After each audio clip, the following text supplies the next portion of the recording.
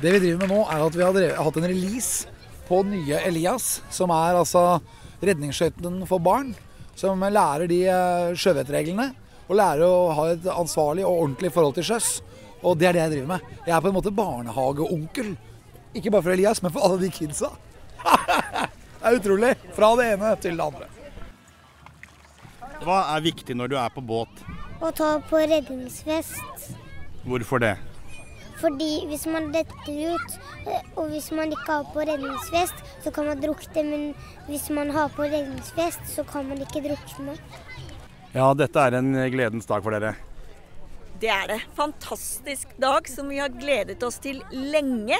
Det er liksom julaften og 17. mai og bursdag på én gang for oss i Redningsselskapet i dag. Hvor viktig er det å få med barna på den måten her? Det er det aller viktigste. Det er vi, altså, å, å, å, komme i inngrep med barn på denne alderen, det er eh, alfa og omega for at de skal få en trygg tilværelse på og ved sjøen. Så dette er veldig, veldig viktig for oss. Jeg syns den ligner veldig på originalen, og den er veldig lik. Så det er veldig kult å få se den på en måte på ekte. Hvordan er det å være stemmen til Elias? Det er veldig morsomt. Du får møte mange nye mennesker, og på en måte så har du det veldig morsomt samtidig som du gjør noe på en måte ganske seriøst.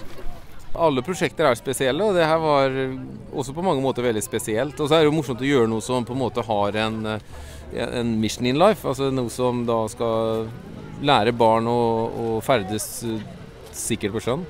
Hva er planene for båten nå utover? Nå skal vi få folk til å gi penger til denne båten, sånn at vi får mange langs hele kysten. I Tromsø, Bodø, Harstad, Ålesund, Trondheim, Bergen, Stavanger, Kristiansand. Hele kysten vil vi ha Elias-båter. Vi er veldig heldige og fått noen givere så langt, men vi trenger flere. Og vi håper at vi får rundt 50 båter som barn kan møte der hvor de bor, sammen med foreldrene sine. Ha det moro, oppleve trygghet og lære sjøvett. Og hvordan eh, føler du akkurat nå? Jeg føler meg helt fantastisk akkurat nå. Det er en fantastisk dag.